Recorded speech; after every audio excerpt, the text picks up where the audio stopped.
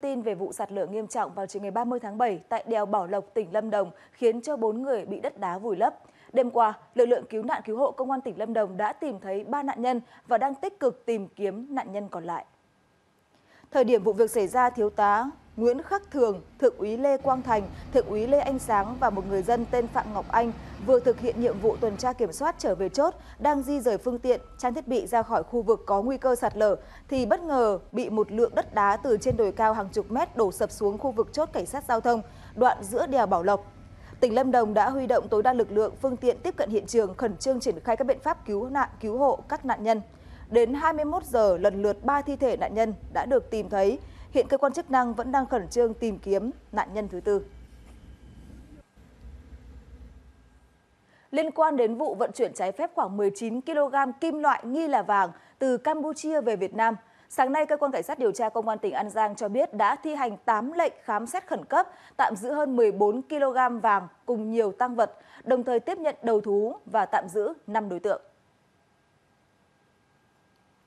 Trước đó, tối ngày 25 tháng 7, tại khu vực sông Bình Di, phát hiện Nguyễn Tấn Phong, chú tại thị trấn Long Bình đang điều khiển xuồng máy vận chuyển hàng hóa từ hướng Campuchia về Việt Nam, đã bị lực lượng công an phát hiện. Tuy nhiên, lợi dụng đêm tối, Phong đã nhảy xuống sông bỏ trốn.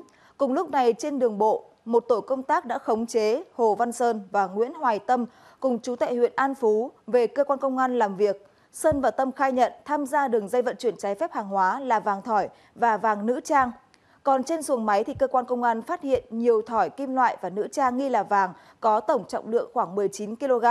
Nhận thấy không thể trốn chạy, Nguyễn Tấn Phong đã ra đầu thú ngay sau đó. Phòng Cảnh sát điều tra tội phạm về ma túy Công an tỉnh Hà Giang phối hợp với các đơn vị nghiệp vụ và Công an huyện Quang Bình vừa bắt giữ và bắt quả tang hai đối tượng đang có hành vi trao đổi mua bán trái phép chất ma túy. Liều Xeo Tràng, chú tại huyện Quang Bình và Hoàng Văn Phà, chú tại huyện Mường Khương, tỉnh Lào Cai, đang thực hiện hành vi trao đổi mua bán trái phép chất ma túy thì bị lực lượng chức năng phát hiện bắt giữ. Thu giữ một ba lô, bên trong có 20 bánh heroin. Cơ quan điều tra đã tiến hành giữ người, đồng thời thi hành lệnh khám xét khẩn cấp chỗ ở của các đối tượng.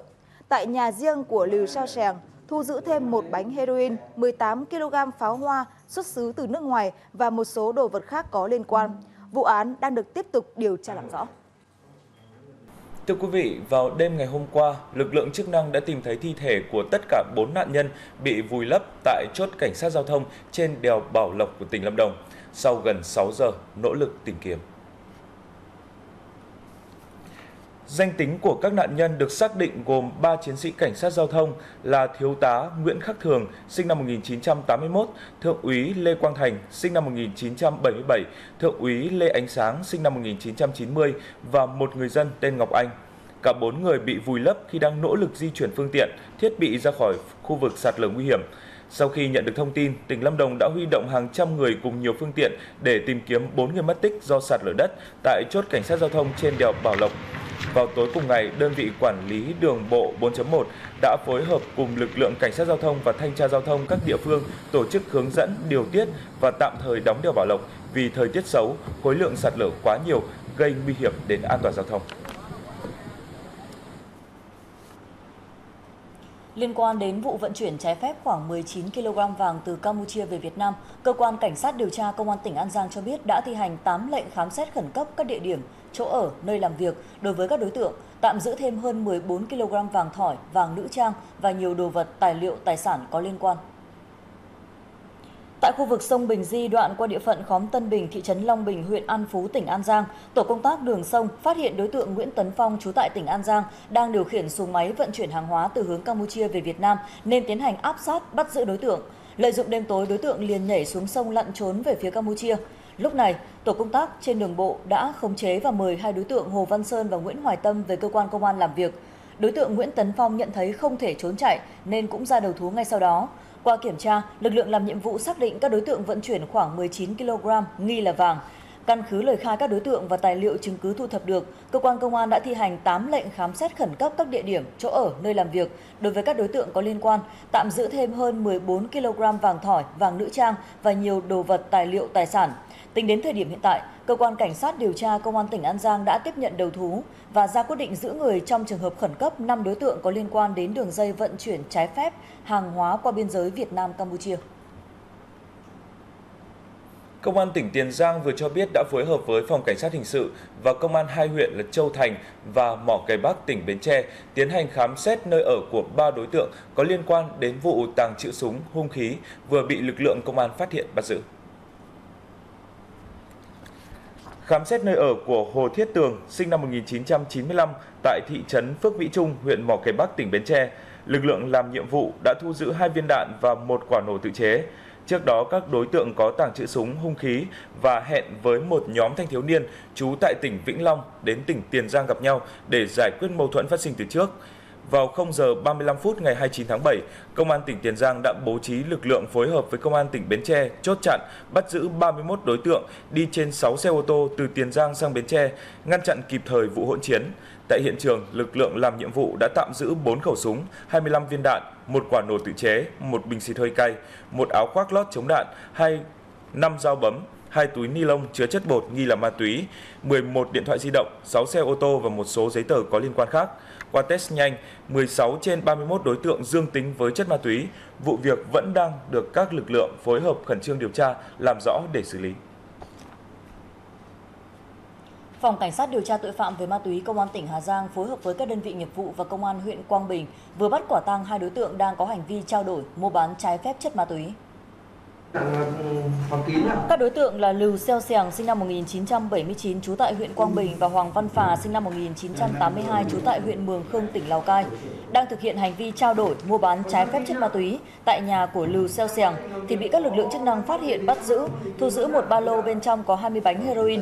Cơ quan điều tra đã tiến hành giữ người trong trường hợp khẩn cấp đối với hai đối tượng, đồng thời thi hành lệnh khám xét khẩn cấp chỗ ở của các đối tượng. Tại nhà riêng của Lưu xeo Sèng thu giữ thêm một bánh heroin, 18 kg pháo hoa xuất xứ từ nước ngoài và một số đồ vật khác có liên quan. Vụ án đang được tiếp tục điều tra làm rõ.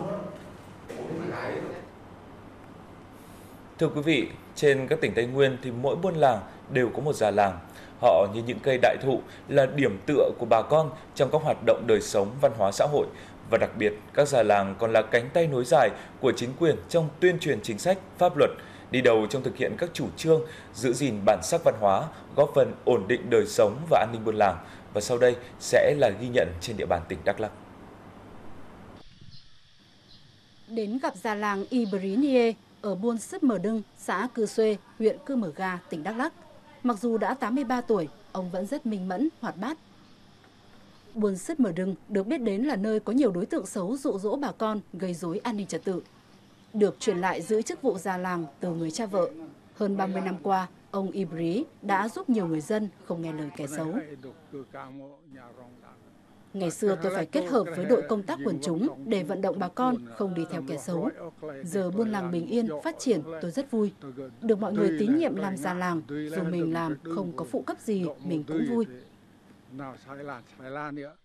Năm xưa thì nghe người này người nọ, người sang nước ngoài để dụ dỗ đi. Biểu tình nói đòi cái này, cái nọ. Hôm nay nghe theo lời già làng đã khuyến bảo, gia đình chị không đi theo nữa. Phải lo việc chăm chăm chỉ lao động, sản xuất để làm ruộng, lo cho con cháu đi học. Ở Tây Nguyên, già làng do người dân bầu nên.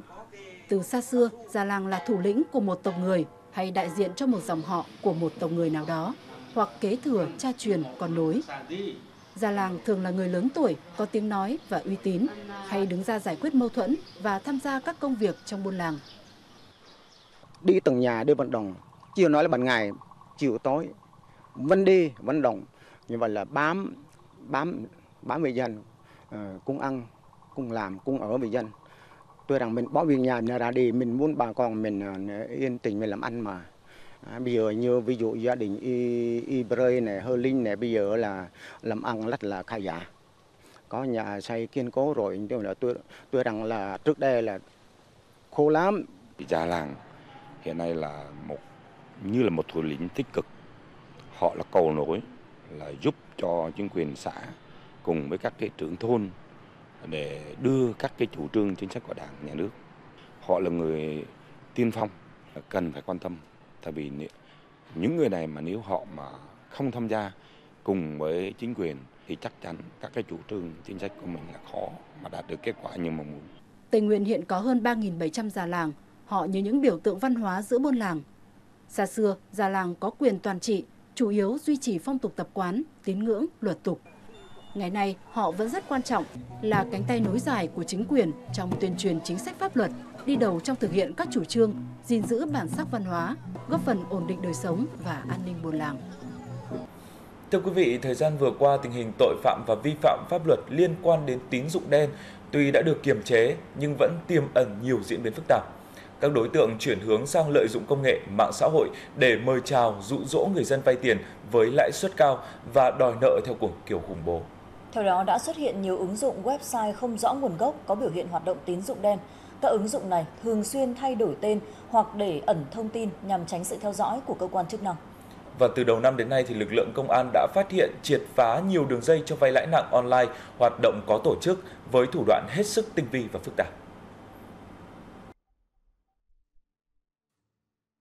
Ngày 24 tháng 7 vừa qua, một đường dây cho vay nặng lãi trực tuyến lớn nhất cả nước từ trước đến nay đã bị lực lượng công an triệt phá. Đường dây này do nhóm đối tượng người Trung Quốc chủ mưu tổ chức hoạt động cho vay lãi nặng thông qua các ứng dụng với lãi suất 2.346,4% một năm và tổng số tiền giao dịch lên đến 20.000 tỷ đồng, thu lợi bất chính trên 8.000 tỷ đồng.